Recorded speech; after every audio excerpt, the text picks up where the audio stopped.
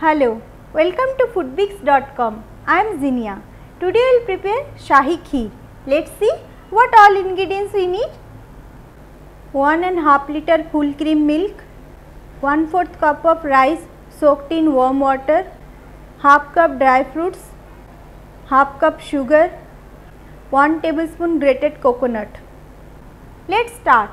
First we will boil 1 liter milk in a pan we will boil this 1 liter milk on a very low flame for 3 to 4 hours to get a consistency like rabdi and do not touch it.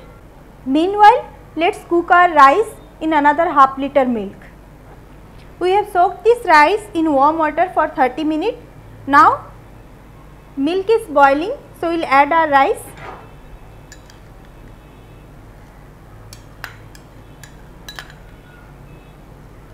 keep stirring and cook it on medium flame. Shahi Kheer is a very traditional recipe of Lucknowi Nawabs. Though it is very expensive in terms of time but it is very tasty. Keep stirring otherwise milk will stick to your pan and it will give you very bad burning sensation which will lose all taste from this kheer.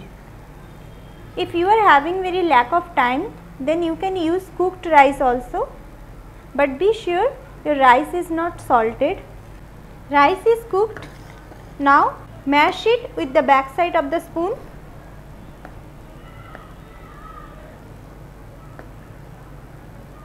and take it out from flame. You can see our milk is little pink and it is very thick. We are cooking it since 3 hours. Now into it we will add our cooked rice. Mix it nicely. After mixing it nicely with this thick milk, add sugar.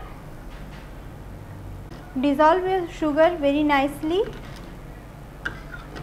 Now on a very low flame, we will cook it for 15 to 20 minutes and keep stirring now we will add this dried coconut, dry fruits,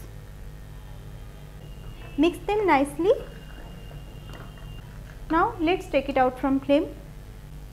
Let us serve it. Garnish it with some dry fruits.